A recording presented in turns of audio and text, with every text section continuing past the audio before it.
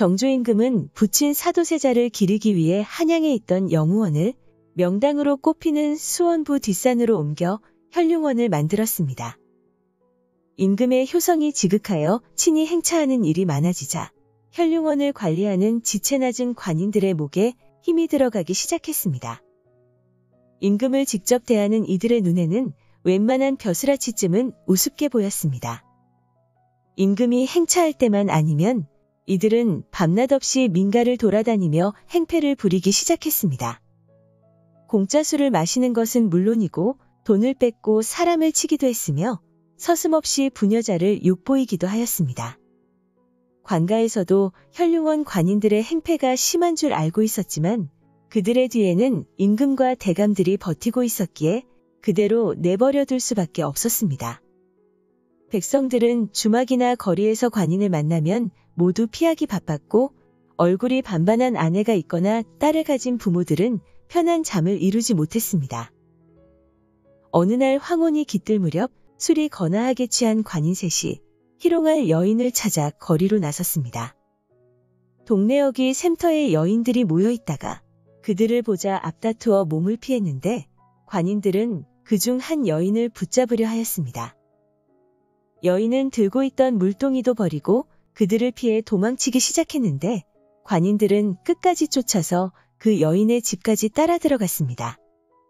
마침 집에 있던 남편이 그들에게 대항하였지만 관인들은 남편을 기둥에 묶어버렸습니다. 관인들이 부인을 욕보이는 순간 남편은 분을 참지 못해 혀를 깨물어 스스로 목숨을 끊었고 부인 또한 남편의 뒤를 따랐습니다.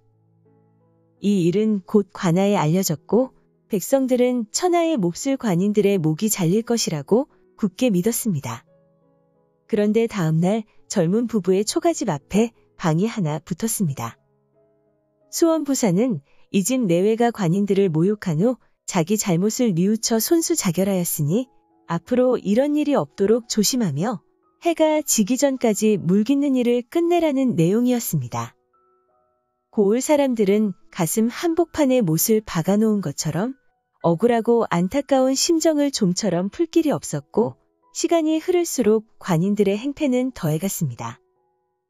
어여쁜 아내나 딸이 있는 사람들은 더 이상 견디지 못하고 하나둘씩 고을을 떠나기 시작했습니다. 그렇게 시간이 흐르다가 조심태라는 관리가 새로운 수원부사로 부임하게 되었습니다.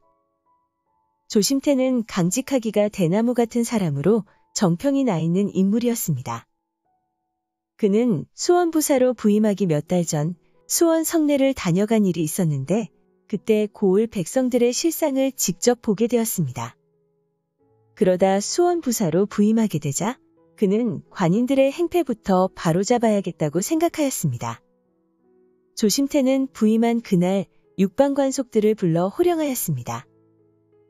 앞으로 성 안팎에서 술 마시고 행패를 부리는 혈령원 관인이나 무례한이 있으면 지체 말고 모두 잡아들여라. 모두 그 앞에 머리를 조아리며 대답했지만 온통 난처한 기색뿐이었습니다. 그만큼 관인들의 위세가 대단하고 두려웠던 것이었습니다.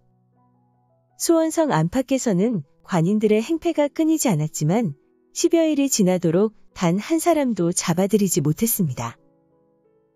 그러던 어느 날 거나하게 술에 취한 관인 유시원이 젊은 과부의 집 앞에서 울타리 안을 살피고 있었습니다.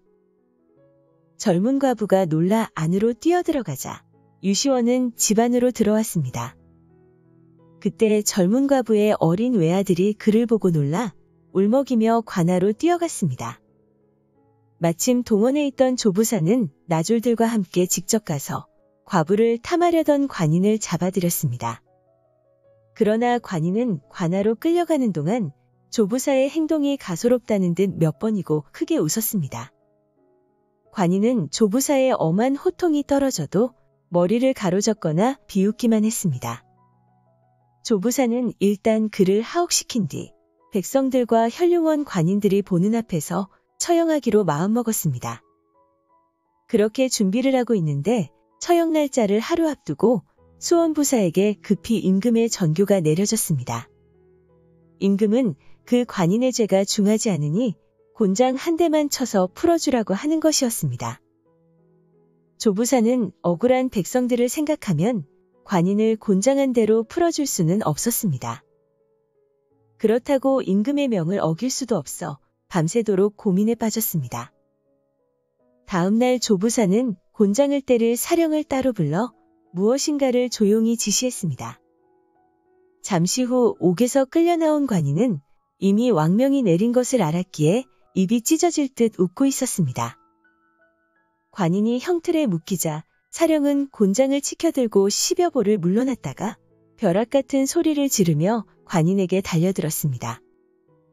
관인은 눈을 질끈 감고 몸을 움츠렸는데 사령은 곤장을 내리치지 않았습니다. 조부사와 관아에 모인 사람들은 손에 땀을 쥐었습니다. 사령은 다시 뒤로 물러서더니 곤장을 치켜드는 것과 동시에 소리를 지르며 달려들었는데 역시 곤장을 내리치지 않았습니다. 사령은 똑같은 동작을 수없이 되풀이하였습니다. 매번 온몸을 오그리고 긴장하던 관인은 같은 동작이 10여 차례 반복되자 그 후부터 어느 정도 마음이 놓였습니다. 계속 때리는 흉내만 내었기 때문에 관인은 긴장은커녕 도리어 사령을 우습게 보았습니다. 그때 사령이 있는 힘을 다해 쏜살같이 달려들었는데 이번에도 거짓인 줄 알고 관인은 마음을 놓고 있었습니다. 그러나 뜻밖에도 곤장은 무섭게 볼기짝을 파고들었습니다. 그것도 똑바로 내리치는 것이 아니라 공기를 온몸에 집어넣듯 엉덩이를 위로 쓸어올려 때렸습니다. 곤장 한 대를 맞고 풀려난 관인은 벌떡 몸을 일으켜 실성한 듯 웃음을 보이더니 몇 걸음 가지 못하고 그 자리에서 쓰러져 죽고 말았습니다. 조정에서는 그 일을 매우 의아하게 여겨 진상을 조사했으나 조부사는 임금의 명대로 처리한 것이 확인되었습니다. 조부사는 죽은 관인을 효수하여 본보기로 삼게 했고 그 후부터 혈룡원 관인들의 행패는 씻은 듯이 사라졌습니다. 백성들은 비로소 마음 놓고 살 수 있게 되었고 조부사를 어버이 대하듯 따르며 칭송하였습니다. 그 후에 조심태는 그의 능력을 인정받아 훈련대장을 거쳐 벼슬이 형조판서에까지 이르렀다고 합니다.